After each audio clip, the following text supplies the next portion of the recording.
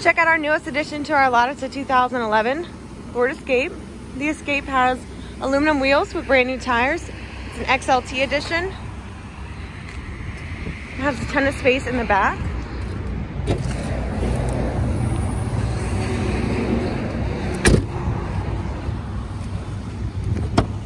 Black cloth interior. It's a power sunroof. Keypad on the door in case you need to get inside without having the key. It does have power locks and windows as well as power mirrors. Power driver seat.